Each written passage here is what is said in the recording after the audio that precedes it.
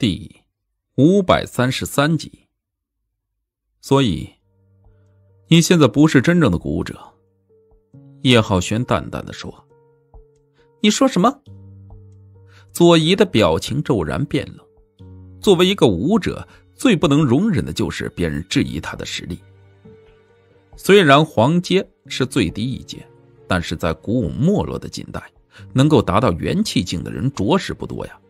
他的资质比常人好，修行古武十年有余，这才达到了元气境。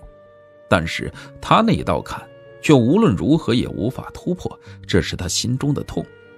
叶浩轩的话无疑是在火上浇油，让他的怒火瞬间流露了出来。我在说，你现在的修为也称得上古武者吗？叶浩轩再次把刚才的话重复了一遍。混蛋！左仪彻底的被激怒，他一声轻斥，清丽的身躯微微的移动，以不可思议的速度瞬间飘到了叶浩轩的跟前。他右手半握，一拳向叶浩轩喉咙处切去。叶浩轩右手一抓，恰好把他的右手抓在手里，然后顺势一甩，把他甩出去五六米远。半空中的左仪连翻了数次，在半空中施展出绚丽的身手。落地后一个回旋，就要继续向叶浩轩攻去。他双手一高一低，却是攻击中最常见的贺膝。他双足快速移动，如行云流水一般的向叶浩轩冲去。只是他刚刚迈出一步，只觉得身子一僵，他的身子却是僵在当场，一动也不能动了。叶浩轩笑吟吟地站在当场，就好像一点也没有动过一样。自小便修行古武的左仪，情知自己被人打了穴，只是刚才叶浩轩并未碰到自己的身体。要说隔空打穴，那只有高人才能做得到。他怎么也不相信，是叶浩轩控制住了自己的穴位，但是身子僵直，一动也不能动，却明明又是被人制住穴位后的表现。他怒道：“你对我做了什么？”你也修行古武，应该明白这种表现是被人制住了穴道吧？叶浩轩淡淡的笑道：“不可能，你刚才明明没有碰到我的身子，除非你的修为达到了地境，这不可能。”左一见鬼似的看着叶浩轩：“我确实没有达到地阶，但是我一样能制住你的穴位。换句话说。”就算是我现在没有达到天地玄黄的任何一境，我也一样能制住你。”叶浩轩双手负后道，“这绝对不可能。”左仪吃惊的说，“没什么不可能的。”叶浩轩虚空一点，左仪只觉得自己的身子一轻，他的身体瞬间恢复了自由。刚才我下手比较重，你现在气血不活，所以你最好不要动。可是他的话终究还是晚了一步。只见左仪一迈步，只觉得双腿一软，然后扑通一声，结结实实的伏倒在地上。哎，都说了你不要动。叶浩轩无语的说：“你，你是故意的。”左仪感觉到有些委屈，他毕竟还是太年轻了，刚才的冷酷都只是装出来的，现在被人一招秒杀，他心里的挫败和失落简直无法形容。我发誓，我真的不是故意的。叶浩轩走上前，伸出手去。虽然是面子，但是左仪现在感觉到双腿发软，凭自己的力量是绝对站不起来的。他只有咬咬牙，伸出柔腻的小手，任由叶浩轩把他拉起来。只是他的手刚刚接触到叶浩轩的掌心，只觉得一股浩瀚精纯的气息从叶浩轩的手心里传了过来。你。左仪吃了一惊啊，他不明白叶浩轩趁着握他手的时机要做什么。坐稳在地上，按照我的话去做。叶浩轩吩咐道。左仪虽然不明白叶浩轩要做什么，但是他相信叶浩轩不会无缘无故的害自己的。开玩笑，他和这种高手根本不是一个档次上的。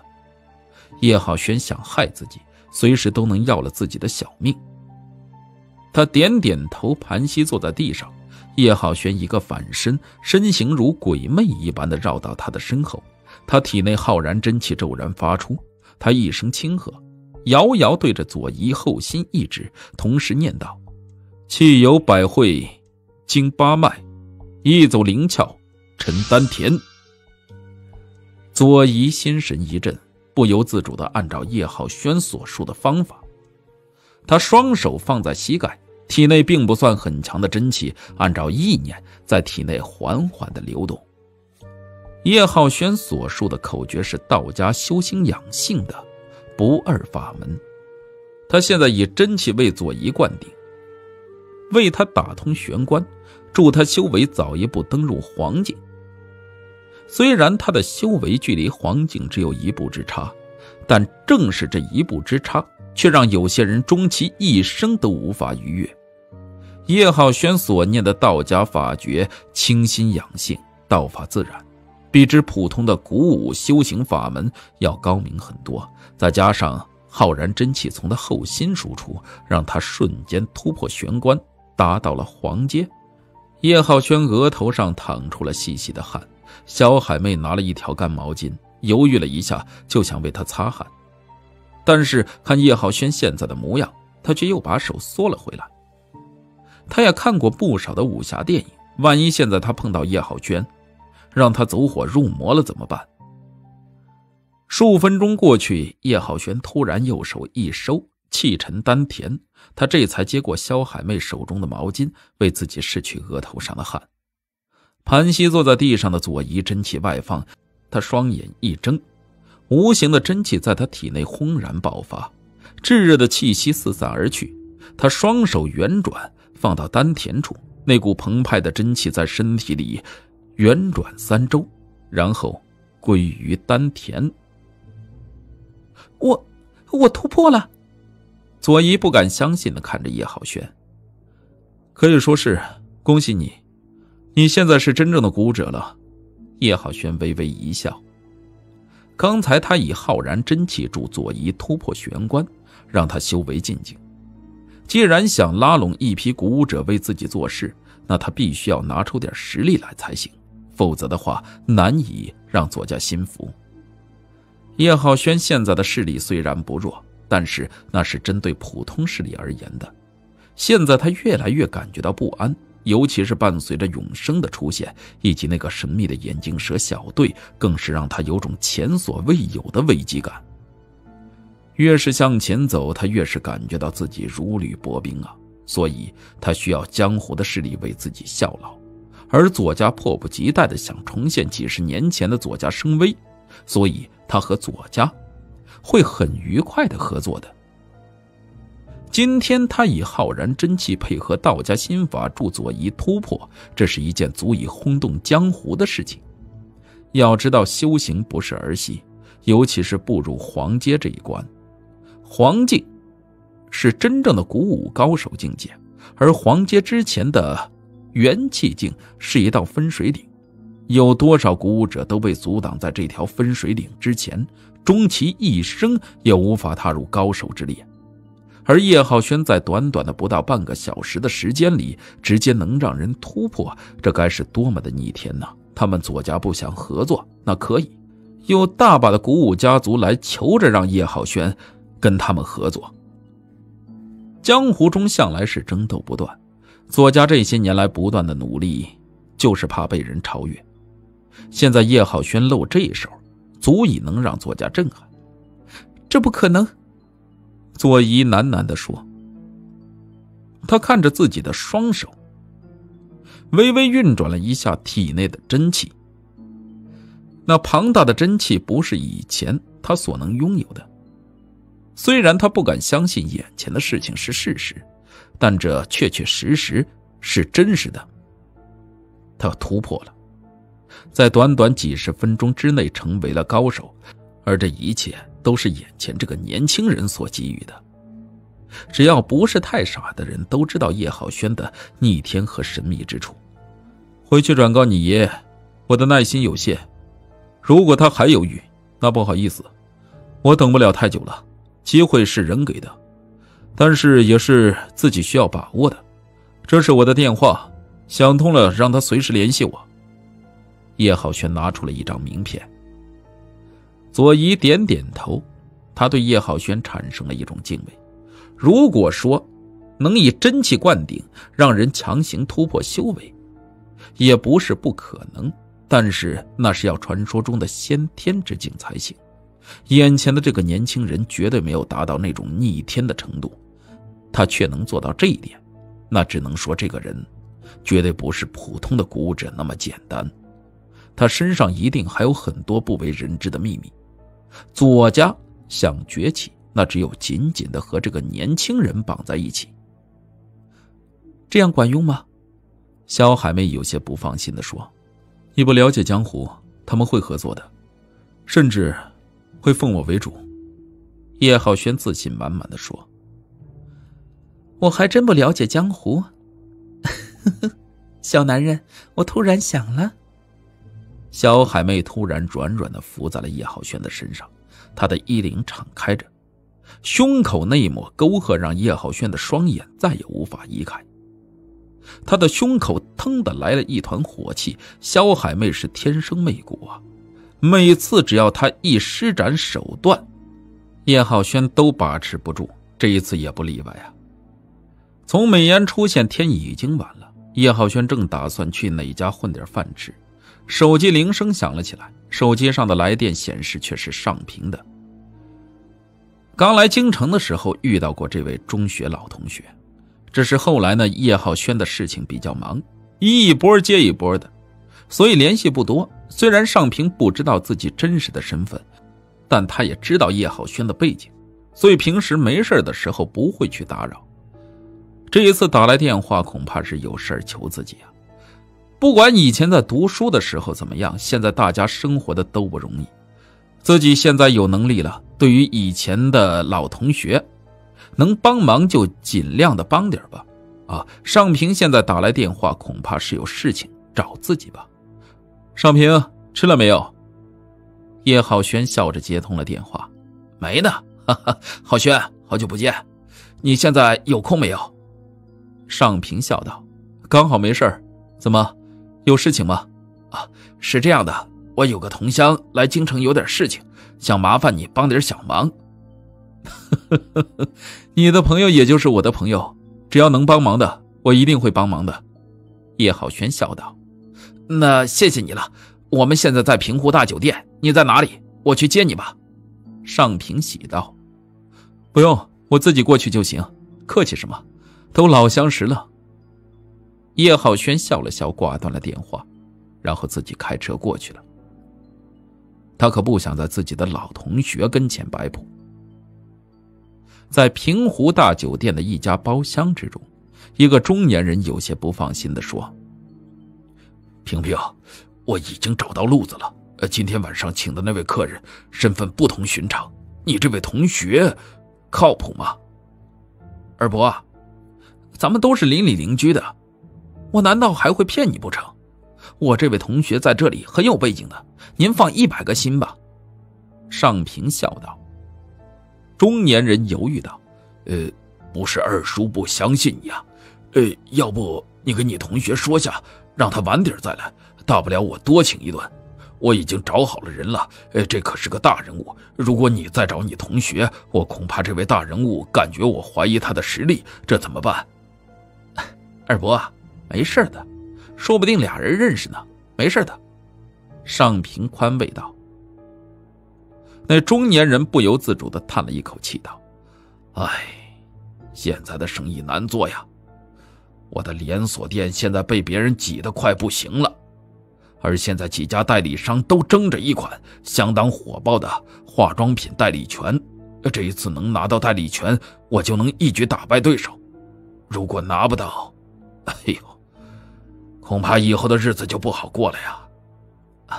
生意难做，哪里都是一样的，会好起来的。二伯，尚平安慰道。半个小时以后，叶浩轩赶到了平湖大酒店，他给尚平打了个电话，尚平马上下去接了他。浩轩，这是我二伯杨轩，老家的邻居，跟亲人没区别。二伯，这是我的同学。尚平把他和叶浩轩做了下简单的介绍。一看到对方是一个和尚平年纪差不多的年轻人，杨轩的心情顿时不好了起来。哦，他认为京城水深，一个小年轻就算是有点人脉，那又怎么样呢？尤其是他这一次来京城拿的化妆品代理权，又是一家大公司，一般人真的搞不定。他心里嘀咕呀：“尚平还是太年轻了，哎，说话有些吹嘘的嫌疑在里面。早知道他同学也是一个刚毕业的学生，就不让他来了。”的确，叶浩轩看起来白白净净的，斯斯文文的，就像是一个刚毕业的年轻人一样。也难怪杨轩感觉他能力有限。他不相信一个年轻人能在京城翻出什么样的浪来，还背景，哼，多半是吹出来的吧。但是，人已经来了，就算是他的心里不痛快，也只得做出一副热情的样子，和叶浩轩握握手道：“小叶呀，今天麻烦你跑一趟。”他年纪虽然比叶浩轩大，如果是平时。叫一声小叶也未尝不可，但是现在他求人办事叫别人小叶，这倒显得有些托大了。叶浩轩眉头皱了皱，他明显的从杨轩的身上感觉到了他对自己的不信任，但是叶浩轩只是点头回应了几句客套话，其他倒也没说什么。毕竟尚平是自己的老同学，这点面子还是要给的。哈哈。呃，小叶现在哪里高就啊？几个人坐下，杨轩打开了话匣子。他这话一出口，不仅仅是叶浩轩，就连一边的尚平，神色也变了变。这是找人办事的态度吗？啊，这家伙完完全全就是来给人摆脸色的。如果不是看在尚平的面子上，叶浩轩真的掉头就走了。二伯。啊浩轩在京城有背景，你的事情交给他来办不是什么难事。尚平的话无非就是在提醒他：“哦，你是来找人办事的，你的态度要注意呀。”但是杨轩不在意的挥挥手道：“哈哈，平平，我理解你的心情。我的事情不是那么容易办的。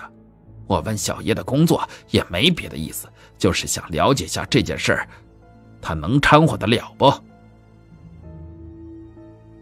叶浩轩的眉头彻底的皱了起来。这家伙是逗逼吗？啊！看他的语气，好像要查查自己的底细啊，看看自己有资格没有资格为他办事没有。天底下竟然会有这么奇葩的人！叶浩轩制住了一边正要说话的尚平，他不动声色的说。我只是一个小医生啊。叶浩轩的话一出口，尚平知道今天的事情已经被杨轩搞砸了。叶浩轩的确是医生，但是他是曙光医院的院长，现在京城风头正盛，正是这个医院把京城所有的医院的医疗费拉下去了三分之二啊！试问整个华夏有几个人能有这样的魄力？敢像叶浩轩这样跟整个医疗系统作对，叶浩轩之所以这么说，就代表他对杨轩已经相当不满了。尚平比较无语啊，叶浩轩的能力他是见到过的，就算是万家的大少对他也恭恭敬敬的，这背景绝对不是杨轩口中的那个大人物所能比的。尚平不知道叶浩轩真正的身份是红四代。否则的话，他今天估计激动的连饭都吃不下了。想想谁都会激动啊，和一个太子党是同学，那是多有面子的事情。医生，